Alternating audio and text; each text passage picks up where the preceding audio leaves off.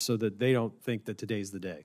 Yeah, And obviously, um, Mr. Chollet, uh, the administration's view of Iran and my view of Iran is, is very, very different.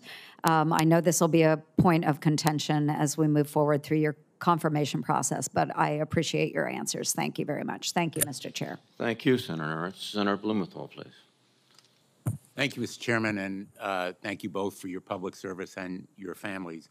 Uh, Ms. Abercrombie, I'm deeply concerned about the apparent shortfall that we are seeing in ammunition going to Ukraine. Uh, I share, and I've expressed very vocally, some of the reservations about the past administration delivery, sometimes later than we would like to see, of critical weapons platforms, whether they are armored vehicles, tanks, F 16s, uh, and now ATACMs, which I think are vital. But there should be no question that the 155 millimeter artillery shells are needed to produce at a much heightened rate. We're now producing them, I think, at about one tenth the volume that the Ukrainians are using them. And they're going to run out of them. We're going to run out of them. That's just one example. What would you do uh, in your role as, in effect, the main Pentagon official in charge of acquisition to speed and increase the production of key defense supplies that are needed by the Ukrainians? And would one of those possible measures include building more production capacity in Ukraine?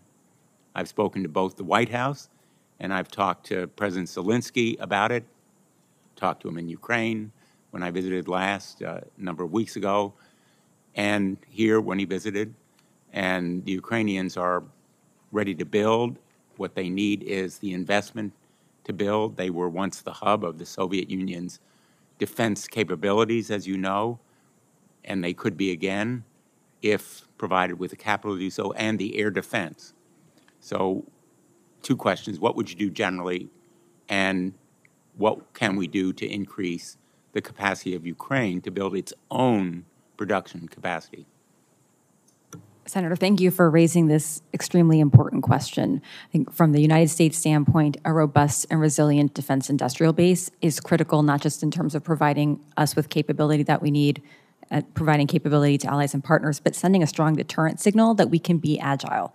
And so, one way we could do that, if confirmed, Senator, in my role, would be uh, signaling to industry the demand signal to expand that capacity by putting things on contract. And to that, I'd like to thank this committee in particular for the multi-year procurement authority authorized last year for munitions. I think that helps the Department of Defense send that demand signal to industry to put some of their own skin in the game to build out capacity.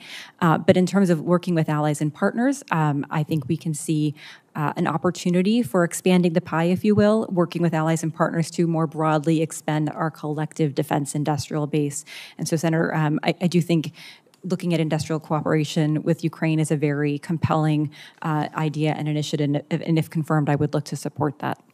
The, the president, I believe, announced an agreement, uh, a joint weapons production agreement with the Ukrainian government last week three Ukrainian corporations signed agreements with more than 2,000 U.S. Def- defense companies to rebuild Ukraine's defense capacity. What can be done to expedite those agreements and to arrive at more of them?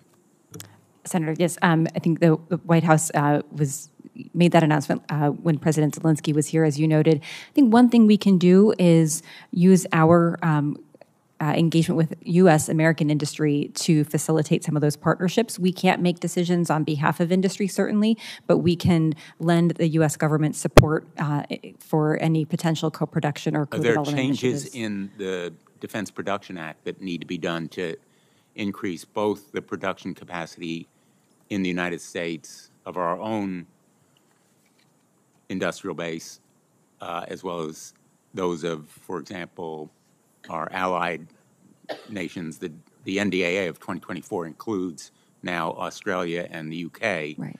but what about Ukraine? Um, Senator, I think if confirmed, I'd pledge you to look into that, working with my colleagues in the Industrial Base Policy Office. Thank you. Thanks, Mr. Chairman.